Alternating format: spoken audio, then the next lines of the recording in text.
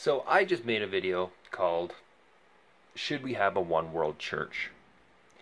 And I said something in that video that uh, spurred another question. The never ending amount of questions that come out this brain. I'm telling you, it's nuts.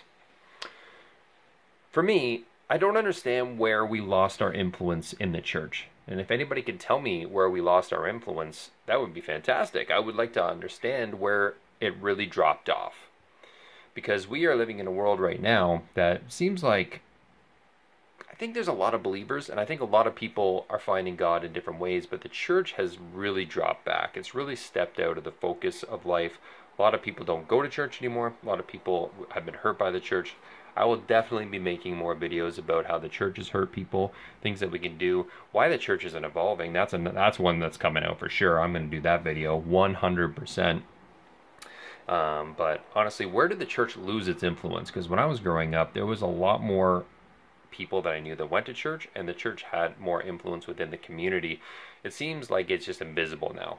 Uh, I went to church two weeks ago, I think, and there was a lot of people there. I was like, "Whoa, this is crazy!" I didn't expect so many people to be here, to be honest, because uh, I've heard a lot of horror stories uh, about um, churches just um, not getting people coming out. So it's awesome that that one's thriving. Um, some of them aren't. A lot of churches have shut down. Um, what's going on?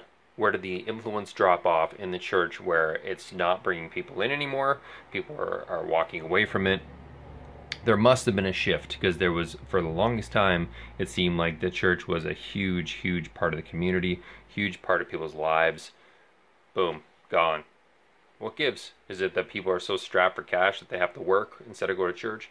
Is it that people aren't finding uh, a vibe in it, like they're not vibing with what's going on in church?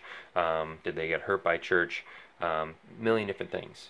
I want to know what you think about that. Did the church have influence over your life at one point, and then you're like, oh, not anymore, man. I can't do it anymore. Do you notice that trend? Do you see how it's changed Maybe you've been in the church for 50 years and at one point in time you could just feel the difference at one point. What do you think?